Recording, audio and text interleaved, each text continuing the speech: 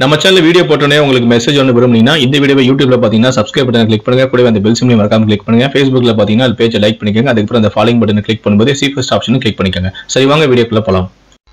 டெல்லி போலீஸில் கடந்த செப்டம்பர் ஆறில் பெண் ஒருவர் அளித்த புகாரில் மத்திய டெல்லி பஹர்கஞ்ச் என்ற பகுதியில் உள்ள ஒரு லாட்ஜில் வைத்து இருபத்தெட்டு வயது வாலிபர் தன்னை பலாத்காரம் செய்தார் என்றும் அவர் கூறியிருந்தார்.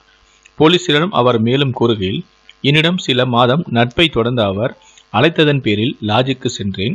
உத்தரப்பிரதேசத்தில் காவல்துறை உயர் பதவியில் உள்ளதாக கூறி என்னை நெருங்கி தவறாக நடக்கவும் முயன்றார்.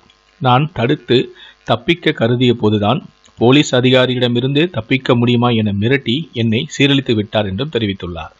விசாரணை நடத்திய போலீசாருக்கு அந்த வாலிபர் பல இதுபோல பல பெண்களை ஏமாற்றியதும் கண்டுபிடித்தனர்.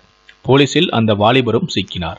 உத்தரப்பிரதேச மாநிலம் மீரட் நகரைச் சேர்ந்தவர்தான் சந்தீவ்குமார். இவர்தான் தான் ஒரு போலீஸ் அதிகாரி என பல பெண்களை ஏமாற்றி சீரழித்தும் உள்ளார். தற்போது அவரை நீதிமன்ற காவலுக்கு அனுப்பியுள்ளனர் போலீசார்.